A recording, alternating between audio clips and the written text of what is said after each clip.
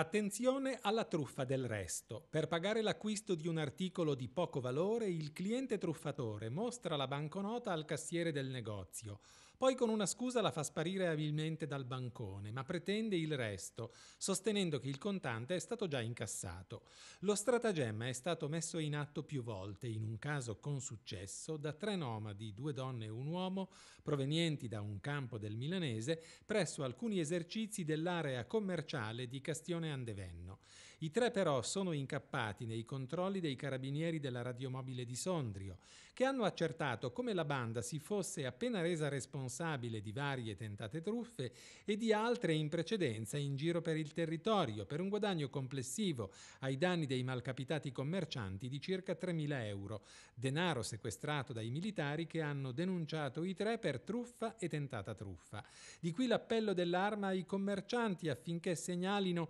anche un solo episodio di questo tipo, perché i truffatori sono soliti insistere sul territorio finché non hanno successo. Negli ultimi giorni i carabinieri della compagnia di Sondrio, agli ordini del capitano Serena Federica Galvagno, si sono occupati anche del contrasto alla produzione, detenzione e traffico di stupefacenti che ha portato a due denunce, mentre un operaio sondriese è stato denunciato per guida sotto l'effetto di alcol. E a proposito di guida spericolata, momenti concitati domenica nella centrale via Roma di Aprica, dove si è concluso l'inseguimento nei confronti di un automobilista imprudente. L'uomo, un 54enne bergamasco, a causa di alcune manovre, aveva causato la caduta di un motociclista, dandosi alla fuga e scatenando così la reazione degli amici centauri. Proprio nel centro di Aprica, al termine dell'inseguimento, è stato richiesto l'intervento dei carabinieri che hanno denunciato il pirata della strada per lesioni volontarie, omissione di soccorso e fuga a seguito di incidente